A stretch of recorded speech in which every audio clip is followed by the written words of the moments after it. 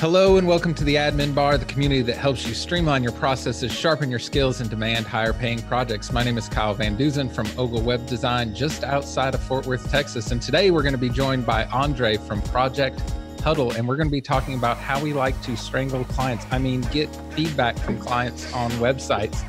But before we dive in, let me first say hello to my good buddy and co host, Matt Siebert. Matt Siebert from Paria Strategic Design. How's it going today, Matt? Yeah, it's going well. And uh, yeah, you might notice that uh, the name has changed. I'm starting to, uh, to push things towards the uh, the new identity, uh, Paria, rather than the Matthew Siebert design, um, for many different reasons. But uh, it's working out really well so far. So. Well, I stumbled on your name, which hasn't changed, and then nailed the company name. So I at least got it half right. Yeah, it happens. So I've been uh, chatting with Andre quite a bit here recently, uh, working out all my own systems on how I've integrated Project Huddle into my starter sites, how I'm dealing with clients, how I'm using it with white label clients and their customers, uh, and also uh, going back and forth with Matt, as Matt does not use a feedback tool on his website projects Yet. yet. Uh, so we've been doing all that, and I thought this would be a good time to uh, introduce Project Huddle to any of those of you out there who haven't checked out, talk a little bit about my experience with it, all of our experience with client feedback, and see what kind of things we can figure out. So, good morning, Andre. How's it going this morning? Excellent. Thanks for asking. We're glad to have you here. So, for those of uh, those of you in the audience who aren't familiar with Andre, why don't you give us a little bit of your backstory? Tell us kind of how you uh, ended up making this amazing tool. Yeah, I was actually thinking about that this morning when was the first time I ever got feedback on something? And I actually majored in art in um, here in Madison, and uh, it was really interesting going to art school because you would get sort of like really candid feedback that you weren't used to. I don't know if you ever took art classes in high school or anything, but like we had professors that would make people cry with feedback just because they weren't so used to it. And it got me thinking like, feedback is so personal and yeah. and you really need thick skin to do it um, and the difference between that and sort of i guess to go forward a little bit um, ended up getting a job at an agency and, and working with clients there uh, and getting fired from that agency and going off my own as a freelancer um, and ended up sort of on the other end of the spectrum with feedback where somebody that really does not know how to give good feedback and you sort of have to distill it and kind of ask more questions and figure out exactly what they're referring to. But in both cases, man, it's like it's feedback. I think can be like almost soul crushing in a way. You spend all this time, effort, your your entire life and expertise goes into something, and and somebody gives you feedback, and you're like, what What are you even talking about? Like, what does does this person even know what they're talking about? So. Yeah, and I think that's like the the major like hurdle for a lot of people. Um, probably the majority out there is just how like you know you, you pour blood sweat and tears into a project and you, you feedback can hurt um, however you know the first time i contacted kyle all those uh, those years ago um, one of the first things that he said was actually don't worry about uh, giving me feedback because I don't care. like I it's not going to hurt my feelings, which is yeah. awesome. But I do think that that's one of those uh, those like you know exceptions that prove the rule. Yeah, so I think the difference is here, and I noticed when you were talking about this, Andre, you went to art school. I didn't. I didn't go to art school. I went straight from high school into a job where design was just part of it, and kind of learned that way. But you know, with art, it's very much an emotional connection to what you're creating. You know, so you're expressing yourself in some sort of way. And what we do a lot of times as web designers, web developers, or back even when I was doing print design, you know, it's more. It it's it's less self-expressive and it's just more of a business transaction you know? So uh, I, have said that to a lot of clients. What i told matt is uh, don't worry about hurting my feelings because i think sometimes and especially people like matt who is also a designer would maybe feel a little bit awkward about making a critique. I spent 15 years working in a retail environment designing for people who knew nothing about design. So their feedback they gave me was always terrible. It made no sense, uh, but they were paying the bills and I just had to go along with it. So I've developed like the thickest of skins uh, on that kind of feedback. It doesn't bother me a bit. Yeah, I say the same thing to my clients. Like, you know, it's not going to hurt my feelings. Like, you know, at the end of the day, it's it's whatever I'm building is is supposed to be something that helps you, you know? Like you don't have to necessarily like it, but whatever is built is built to, you know, the specifications of some sort.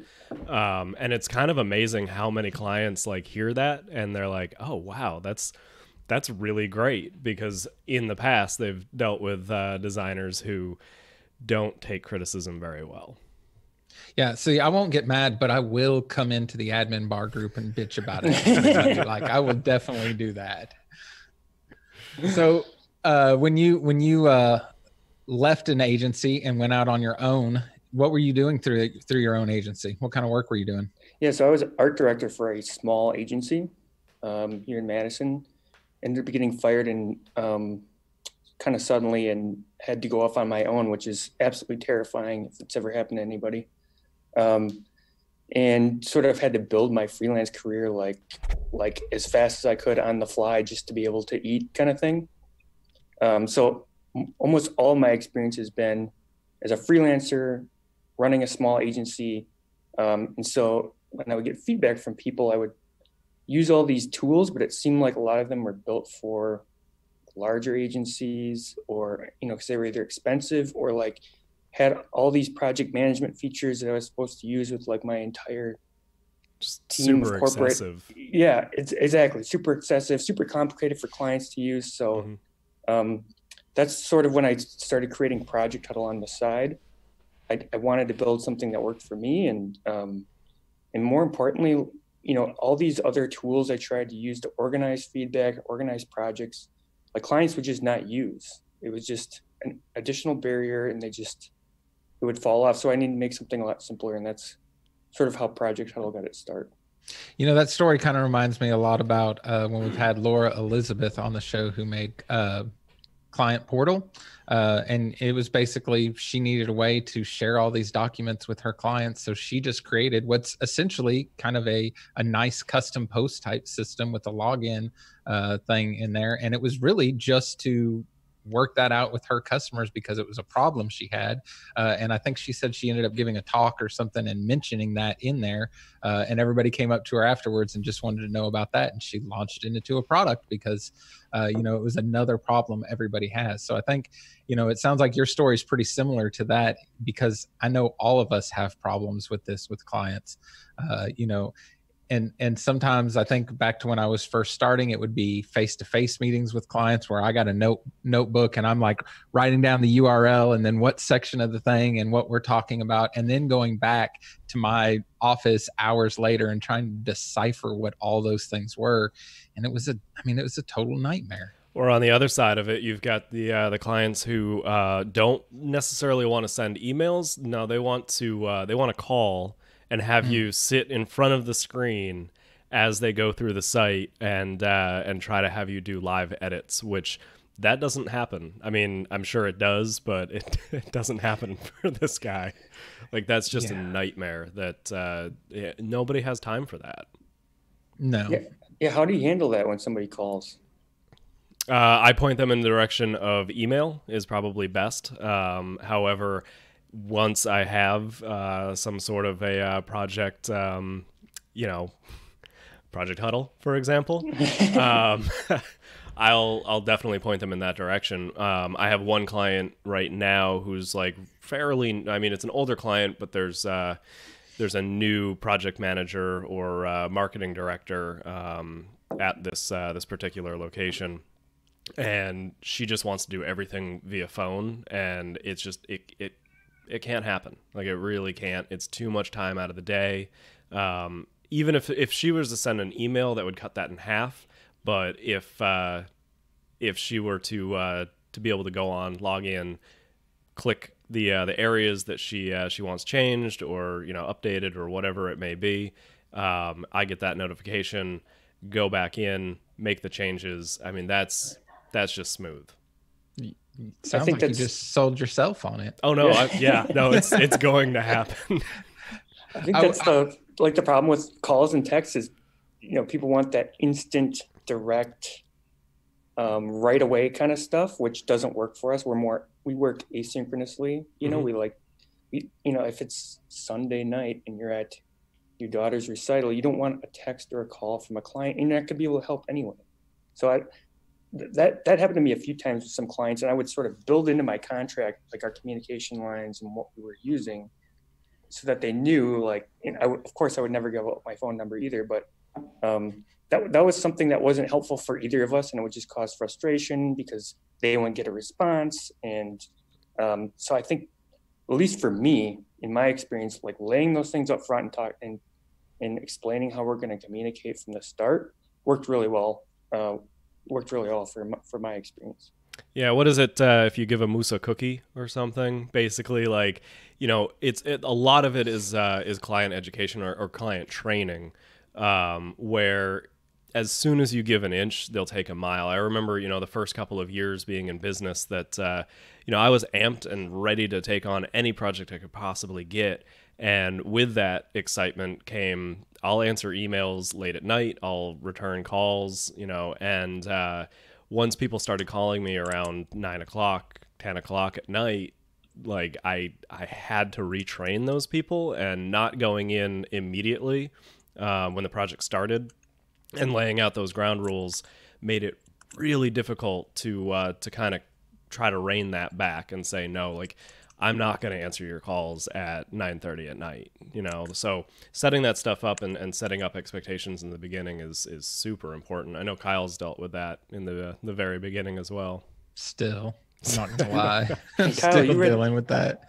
You read a wasn't that book by Nathan Ingram that um, the Friendly Monsters book was? Yeah, yeah, called? yeah because he mentioned something about you know how you um you, you want to be the hero right you want to you want to be the like inside we want to be the guy that answers the call or the text and just fixes it and oh yeah aren't we awesome?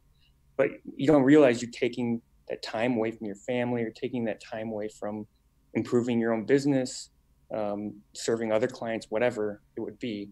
I think i mean i just have to plug that book because i, I yeah i mean you're taking time away from yourself really. I mean there, you need to be able to shut off. Like a weekend day at least you know and just not do anything and then come back to uh, to work refreshed. I mean if you don't and i that, think burnout i think you end up really doing more harm in the end than than good anyways even though you think that kind of that over delivering mindset of i'm going to answer the call anytime what that leads to in my experience uh, 100% of the time is having some sort of resentment with the client um, because at some point while the first phone call at nine o'clock at night was annoying but you handled it and then the text on sunday morning at some point you're just like okay, I've had enough. But the client the entire time is just thinking, well, it's fine for me to do this. He always just jumps to whatever I say. So it's really not your client's fault for taking advantage of you. They're not doing it yes. maliciously. You've trained them to do that.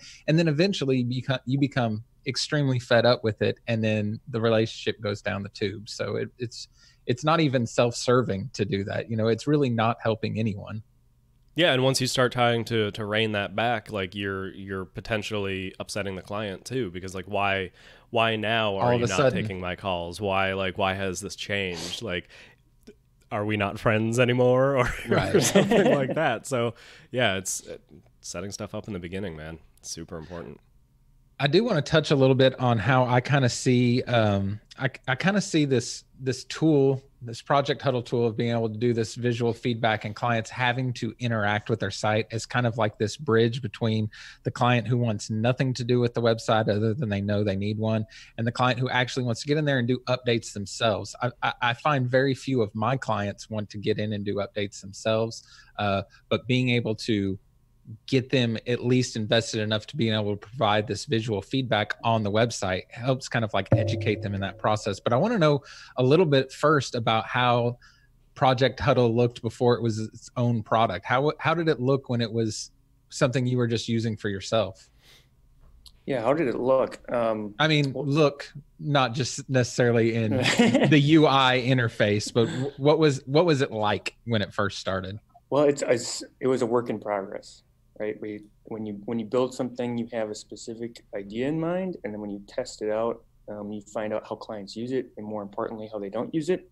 Hmm. I think the biggest assumptions we make when we build products is that people are as tech savvy or as us, or we assume they have a certain amount of knowledge in the computer common space. sense. Yeah. Yeah, we call it common sense, but Right. I mean, I don't know how to fix my car. I don't know. Sure. Um, so I think originally it was more, it was harder for clients to use than anticipated. But that was something that I had some really good clients to help give me valuable feedback. We worked together to kind of build the tool. Um, and then as we launched it, um, had more customers in different use cases give very like valid and, and, and awesome feedback from the start. So um, sort of incrementally improving still to this day, but you know, at the start it was way less user friendly than than it is now. And so most of those changes, I think, when companies grow like this, come from that user feedback and how important it is to actually put something in the wild. So, h- how long was it? But you know, from from the time you got the idea to do this to use in your own agency to when you decided, hey, this would be a a great standalone product that I could sell. Well, it was kind of um, from the start. I thought maybe this is something other people could use. Um, so I just put it out there to see if other people would use it, and they and all of a sudden they did. So, um, I, you know, it's a really good question because I didn't anticipate doing that from the start, but um, when, once I, I, I think I ran into a friend, he's like, yeah, you should put this out there and just see what people think. And like, do I charge for it? Do I put it for free? It's like, you know, if, if you charge for it, you're going to keep working on it. It's going to improve. You do it for free, you'll probably get abandoned and, you know, you'll never do it again. So, um, went out, went out, put up a website. Sure enough, people started buying it and, and give, giving feedback on it. And some people really loved it. And I guess, I guess the rest is history. right. Awesome. Is it is it your full time work now? Yeah, it is. Um, so there's two of us, and it's me and my wife. Um, so I'm more product focused, and she's more on like marketing, outreach, and that kind of that kind of thing. So, um, and then we use some contractors here and there to like fill in the gaps. Um, but yeah, it wasn't for a while, and I think that was sort of a, a good thing that we could. So I was balancing doing project Huddle with client work for a long time. I think that was super valuable because um, I, I, maybe it was Amazon that says you should eat your own dog food or whatever. Right. So so so like using it myself versus coming at it from the outside and trying to build a product for somebody that wasn't me was was not going to work. So I think it was super valuable to be able to do that. Yeah, that way you're not like relying on other people testing it for you. Um, you know, if you're using it uh, along the side, like the same time that you're developing it, you know, it's there's a bunch of use case uh, scenarios that you're finding yourself and fixing. I'm sure. For sure. Yeah, so I, I, kind of mentioned a second ago how I think this kind of bridges the gap, and and the way that I think this has been super useful for me, and it's something that Matt was mentioning too, is um, the client education part of them, them understanding how the website. You know, I, I have clients that don't understand how the website like links to different pages within the website. Like that's beyond their comprehension. I think it's hilarious. Actually, I think it's maddening, but um, you know, it's just it just doesn't interest them. They don't understand. And what's been really nice about kind of getting this built into my processes, it's first of all, it's super simple for them to figure out how to do it. You just like point on the screen and then start typing. That that's the that's all the training you need. Um, but it's kind of forced them to look at the website a different way um, and and kind of how uh, they're they're having to interact with it. They're seeing what it looks like if something changes. I think this stretches across uh, all forms of design, but you have customers that come up with an idea of something they want different. You didn't do it that way initially because you know it's a terrible idea, but until they can see how terrible that idea looks, it's very difficult for them to understand why you wouldn't just do it for them. And I think being able to have this this tool on the website, they can see how changes look, how things interact, is really helpful in kind of bridging that gap to getting them more invested in uh, you know a better understanding of what their website really is. Yeah exactly. I think um, i don't know how many of your clients actually log into the wordpress admin and make changes themselves but even though gutenberg has made it a little bit easier i, I still Has see i mean better than better than the TinyMCE that was there before but still it's you know you log into the dashboard and i can I can see people being like, "This is absolutely insane! Like, what do I? I'm I." It, and it shouldn't be their job necessarily to learn things. No, not at all. So I, I, I, I like that um, they can sort of look at the front end of the site, request changes, you know, maybe swap out this image. They can upload an image and, and tell you to swap it out. Um, I, I know 99% of the clients I had just asked me to do changes just because they didn't have time to learn WordPress, learn mm-hmm. Gutenberg. I mean, even WordPress professionals had to learn how to use Gutenberg. You know, it's it's or how to install the classic editor, like me. Yeah, right. Exactly. So I, that that's why I like about it. It simplifies the whole content changing experience, and it, it makes it easier for you to provide as a service.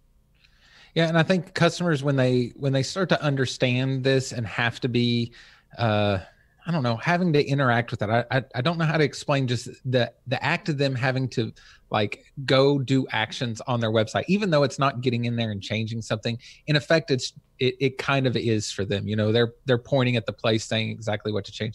It makes them so much more invested in the website, and I've just seen that throughout the builds that I've done.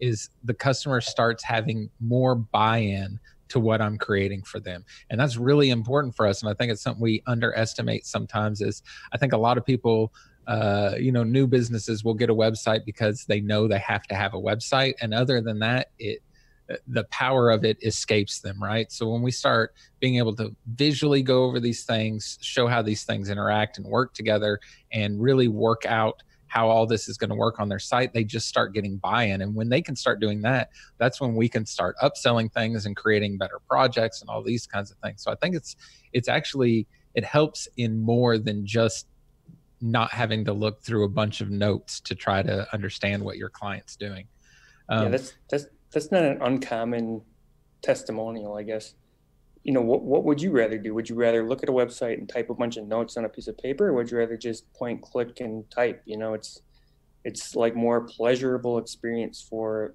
for for all of us, really.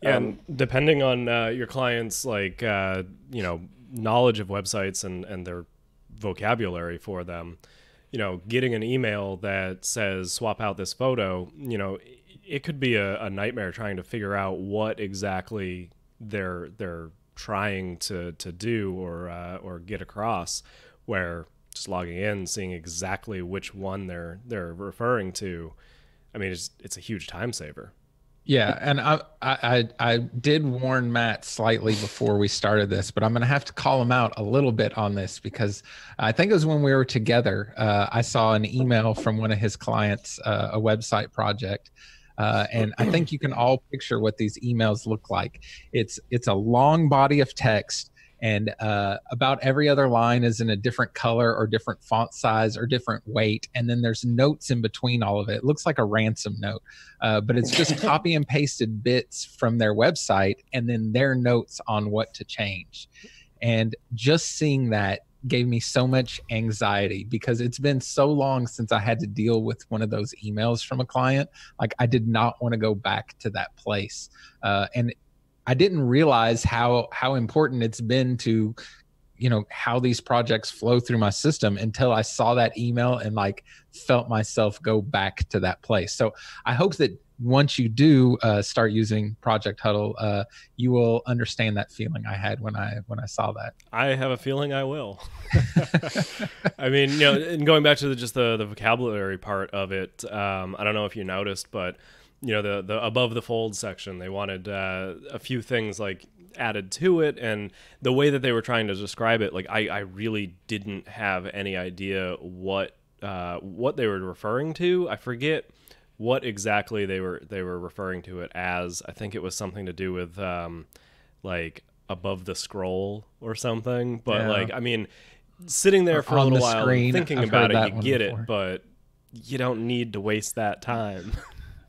yeah, absolutely. So, uh, why don't you tell us a little bit about how I, I think I've been using Project Huddle for a little over a year now. It's got to be a year because I just uh, renewed. So, um, so why don't you tell us a little bit about how it's evolved over time and what what are some of the exciting things you've added to it uh, since you launched it yeah it launched actually as a um, feedback tool on just images and um, like static designs because only because that's how i worked i did everything in probably photoshop at the time mm-hmm. um, and I, I got feedback that way before building out a site but then as as almost the web evolved and and as I evolved, I started doing more in the browser.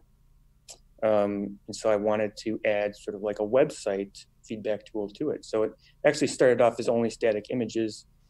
Now it includes websites. So there's it sort of covers um, however you want to work. Some people love like just a, a side note. Um, you know, a lot of people talk about do you get copy before you do the site? Do you get it sort of like after you have a design? You know, like sort of back and forth. What worked really well for me was having some sort of sketch or wireframe that says like, in this section, this is what I want. This is what we should talk about. In this section, this is kind of stuff I'm looking for. Um, having that sort of like in a, a static mock-up is what we call them um, you can request those things in Project Huddle and kind of get that stuff before you begin a website build, which I think is like super valuable because otherwise you're either going with no copy at all or you're trying to design uh, like a giant page of copy that they sent that there's no possible way you could fit on one page, nor would you want to. Right. Uh, type of situation. Hmm. Um, so, so that's why I like having both. Um, as it evolved, we sort of added um, like better ways for you to work. We have a sketch integration, which is super cool. Um, if you work in Sketch, you can, um, from your Sketch app, you can sync your designs right to a project. So you don't have to ever leave Sketch to um, upload new versions and, and, things like that. Um, and then we've also been trying to improve notifications quite a bit within Project Huddle. I know. I like that one. had, and and those are tough because um, you know with notifications every client and person is different. Everybody works differently. Um, sometimes you need an immediate response to something. Sometimes mm-hmm. you don't.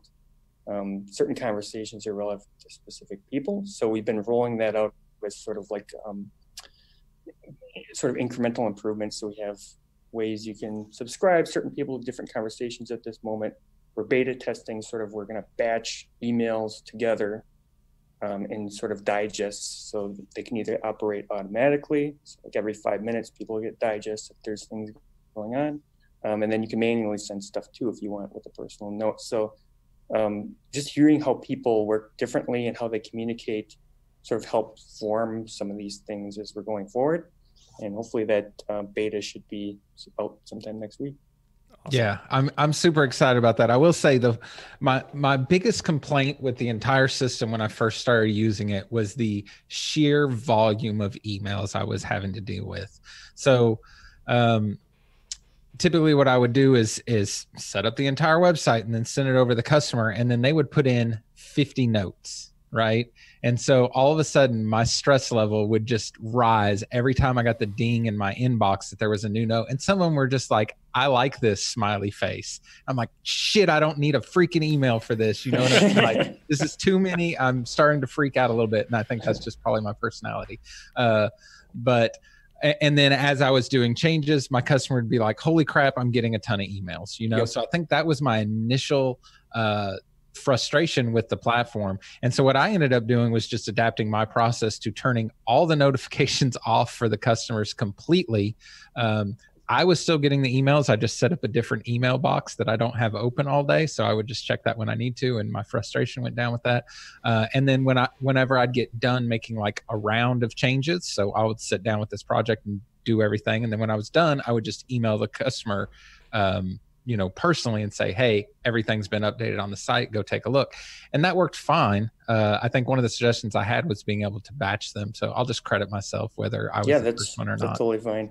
Um, but I, I, think this is gonna this is going to allow me to be able to turn all those back on for clients again to where i can just set an interval that makes sense for me. I know i can get so many things done. They'll just get one or two emails instead of a hundred. Uh, so i'm super jazzed about that uh, that upgrade for sure. And, and, and at the moment, um, you know, because we have subscriptions for conversations, by default, your, your client doesn't get notified of anything unless you want them to. So you can sort of whitelist specific conversations to them. But I understand it's not a solution that works for everybody. So we're trying to give people as many different options to communicate as they want because, like I said, sometimes clients need to know things immediately and sometimes they don't. So yeah, no, I'm I'm sure you're having to strike a balance. I was just trying to be really loud until yeah. I got what I wanted. No, that's that's the way to improve it, and, and that's how that's how Project Huddle has worked from the start. You know, like I use it a specific way. It worked really well for me. You you you learn how other people use it and sort of adapt and and really get dig in and find out exactly where their pain points are and improve. So. Um, that's something that's been a long time coming, but it's it should be out next week. So we're pretty excited. Nice. So by the time people are listening to this, it's probably out. It's, it's probably out. Yes. So that that is super awesome. I do want to say one bit of feedback uh, that I've noticed since I first started with this, and it makes sense now that uh, you went to art school. The UI of the entire thing is absolutely beautiful and perfect and as minimalist as you can get away with, and I super appreciate that. Yeah, hey, I appreciate that too. It's you know, I, I think the hardest thing about designing is just having restraint and just taking away everything that's not absolutely necessary. And we always want to like start adding fancy things because we're like flexing our design muscles. And the perfect designs are the ones where you know you take everything away until it, it no longer works you know? And uh, everything in here is like beautifully minimalistic like that. Well it's it's done with a purpose. Um, project huddle is white label so it's on your domain with your branding so it's re- it's representing you as a company. I think it needs to be professional, um, simple, easy to use, you know, but still have some powerful features at the same time. So I think it's it's one of the things that I I think is like super valuable to have in a tool rather than something that totally mismatches your brand, not customizable at all. Right. Um, mm-hmm. Yeah, and I important. think I think that's what makes it effective too. Is not only is it easy for them to use. We were talking before we started recording the. Uh, when I first started this, I, I did like an onboarding video for my customer and like did a whole video explaining to them how to use it.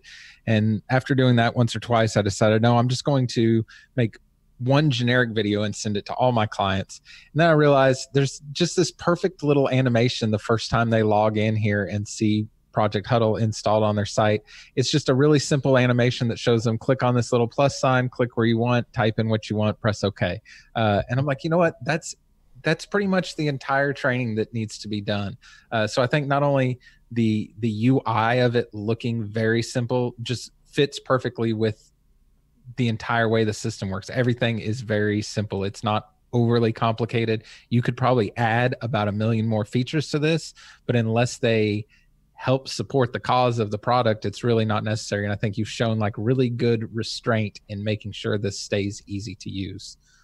Well, we, we really want it to be client focused um, in, in the UI, obviously, um, but also just like making it easy to use. So um, a lot of times, like when, when I would work with clients, some, some clients wouldn't even have, I wouldn't even give them access to the, the WP admin just because I knew it, it was just opening up trouble. Um, so there's way like we have uh, in Project Huddle what's called a project access link. So it lets somebody leave these comments on a site, view the interface just by visiting a link. Once they visit that link, they're they're remembered for 30 days or until they close out their browser. So it's super easy. They don't have to they don't have additional logins. They don't have to go into the WP admin. For those specific clients, I think it works great. Um, of course, you can also enable it for people that have accounts, but I think you know, having those options because clients are different, it, it really matters. Yeah, and I've even took those project access links and then just created a pretty link out of them, so it'd be something nice and easy Perfect. for them to remember. You know, just uh, you know their domain slash whatever their their name or whatever feedback or whatever. So it was just really easy for them to get to, uh, which is you know this this entire thing doesn't work if it's not easier for the client to do. Otherwise, they're just not going to do it. That's and that's something I that's a lesson I learned over and over when I was doing client work because I would use like Basecamp and I was constantly switching project management systems and expecting my clients to be on there doing that and they just wouldn't do it, you know, and it's just a waste of money if if it's not going to work. So that's why I like thinking about this from like what's the easiest thing you can do? Visit a link, you're set to go, done, you know. So Yeah, and I've I've tried to work out my processes kind of in the same way. Basically, at the beginning of a web project build, uh, we're communicating via email and Google Docs, and uh, as quick as I can get to the Google Docs stage, that's where I'm trying to get to because we're putting content in there, and I'm kind of helping coaching them through that content because Google Docs has such an amazing feedback uh, integration into it. Uh, it was, you know, why I wouldn't open a, a like Microsoft Word uh, because I can do all the client feedback right there in Google Docs. Um, and then once we move off of Google Docs, the the information, all the content is complete. Almost all of the communication from that point until we're getting ready to launch is just through the feedback system on the website. And if I can keep it to all of it being there, that makes everybody's life easier. For sure. Yeah. I, I mean, the stuff that Google has now is just insane too. I'm yeah. When I first started, it was just a shared drive or sending Microsoft Word documents. So that's awesome. Yeah, I, I, I dig that. Anyway, I can make all those things easier. So I, what I'll try to do is, uh, uh, I'll remember after we publish this, I'll go through and record a video of how I have my entire starter site set up with Project Huddle already installed on my starter site, how I can clone that. What I actually have started to do is uh, force my customers to log into their website. So I will hide their website behind a coming soon screen with a login page. Uh, so once they log in, then they're logged also logged into uh, the feedback system so they can give their feedback in there. Uh, but kind of trying to slowly train them to get into their websites. Uh, but I'll go through. Uh, I think what I have now is really ironed out. I, I I called or wrote Matt the other day and said like okay, I got it. I figured it out. It was only after like messaging Andre 900 times and then apologizing for being an idiot. Uh, but I think I got a nice, smooth little system now. So I will, uh, I'll make sure to record that and send that out to everybody. That'd be super helpful. I think having systems is just something I didn't do when I started, and you just end up spending so much time monkeying around with dumb stuff that, and you just want to be building stuff for clients. I think yeah. that would be super cool. I'd like to see that. Awesome. I will do it. Uh, 2019 has been the year of uh, processes for me. So we're, we're getting close to the end now. Hopefully I'll be done and I'll have an actual system that I can use. So Matt, what are you thinking, buddy? When are we going to get signed up? Oh, uh, real soon, like real, real soon. I, am imagining this, this episode will probably be out uh, a week or two from when we, uh, long, or from when we're recording this on today's date, uh, but it's going to be very close to Black Friday. So what's uh, what's in store for Project Huddle and Black Friday? Yeah, we will have a Black Friday deal going on. Um, we're thinking like thirty or forty percent off. Nice. So a nice deep discount. Um, I think it's one of those things we we like doing Black Friday stuff because it's like we we it seems like people that try Project Huddle really love it and stay for like the long haul and they really like to invest in it. So it's sort of an easy way for freelancers and small agencies to get in without breaking the bank and, and seeing if it works out for them too. Yeah, just kind of dip your, your toe in the water with like very minimal investment and then realize, wow, the the amount of time that I'm saving and how easy this is, I'm actually making money in the uh, the end of the day. For sure.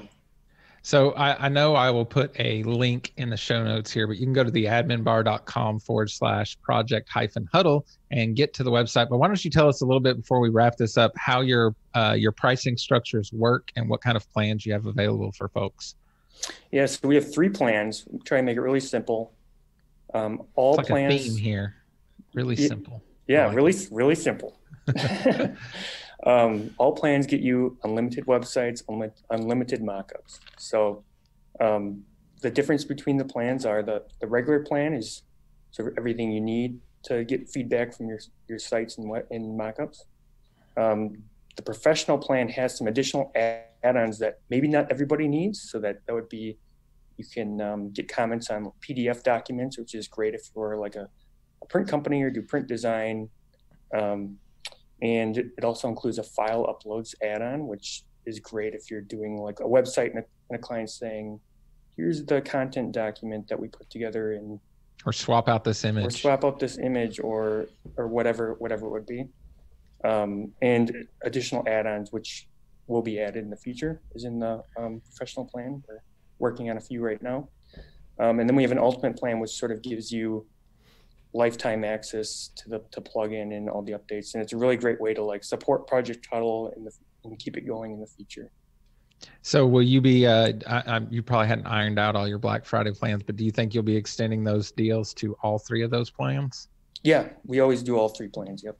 Nice. Everybody loves a good lifetime deal. So if you're looking for a good lifetime deal, uh, me and Matt are putting together a top five list for each of us for Black Friday deals. And I don't want to give anything away, but I'm pretty sure Project Huddle is on the list. uh, so uh, I'll make sure to make sure we put all those details in there. So Matt, have I missed anything today that we uh, we needed to get to that you wanted to make sure we covered? No, I don't think so. Um, I I will mention that when you showed me around the uh, the back end of, of Project Huddle and and uh, you know how how it works on the front end of the website and all that stuff. Um, the one thing that I didn't know that uh, after doing this show uh, that I do know now is that um, you can you can also proof PDFs and uh, and flat images, which I do a hefty amount of uh, of design work as well. I'm working on some labels for some supplement companies and stuff like that. And if I could send out those as well and get feedback on them, rather than you know the client uh, you know scanning in like the the proof document that I send and like handwriting handwritten notes. notes. Them, I saw one which, of those in your inbox too. Oof, that's rough. Yeah, I mean some some of my clients I cannot read their handwriting, and it takes me ages just to figure out you know that we need to uh, to swap out the supplement facts, you know, or, or whatever. Um, so not only I was already sold uh, beforehand, but now that I know that I can do that as well, like it's this is a no brainer. I'm really excited. Well, yeah, awesome. Give it, a, give it a try. Heck Come yeah. on. I know. we, we might if we were set up, I'd just make you share your screen and put in your credit card details right now. But not all set it's like social pressure fails. I know. I'm just gonna get everybody on and then pressure the hell out of them. Well, Andre, I do appreciate you jumping on with us. I will say, you know, um, there's the WordPress community in general is pretty awesome, and I think we can all agree to that.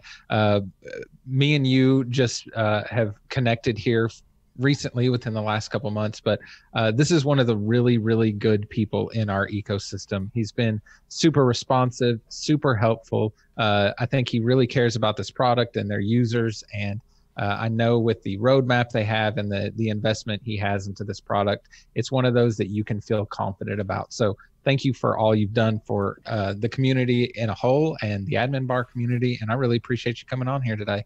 Yeah, thanks for having me and thanks for saying that. It means a lot. Not a problem. I only say it when it's true. All right. So, as a reminder, if this group helps you in any way, the easiest way to help us is to share the content, subscribe to our channel, or use our affiliate links. It's all free. It takes little time and it greatly helps support the show. That is all for now. We will catch you all inside the group. Bye bye.